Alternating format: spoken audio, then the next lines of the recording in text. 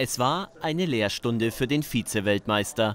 Mit 0 zu 6 gehen Slatko Dalic und seine Kroaten in Spanien unter und landen nach dem Höhenflug bei der WM wieder zurück auf dem Boden der Länderspielrealität.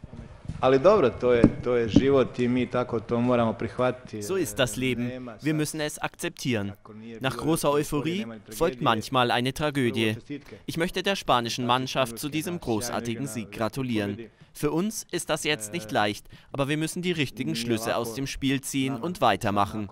Wir können uns nicht hinsetzen und weinen oder traurig sein. Wir müssen uns auf das vorbereiten, was als nächstes kommt sjesti i plakat, tugovat. Idemo dalje, idemo raditi, idemo se spremati za ono što nas slijedi. Für die Kroaten ist es eine Tragödie, für die Spanier zumindest ein bisschen Wiedergutmachung nach dem Achtelfinal aus bei der WM. Es gibt nicht viel zu sagen. Es gibt keine negativen Dinge. Es gab deutlich mehr gute Aktionen als Fehler und die Einstellung war hervorragend.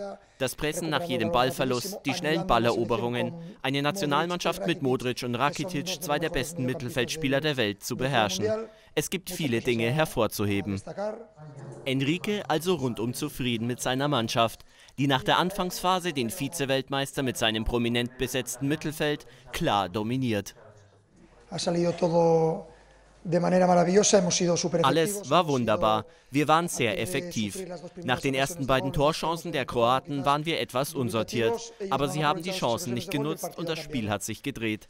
Von da an haben wir in vielen Phasen brillant gespielt, mit unglaublichen Treffern und vielen gefährlichen Aktionen. Zwei Siege aus den ersten beiden Nations League Partien. Für Spanien ist der Auftakt nach der Enttäuschung in Russland geglückt.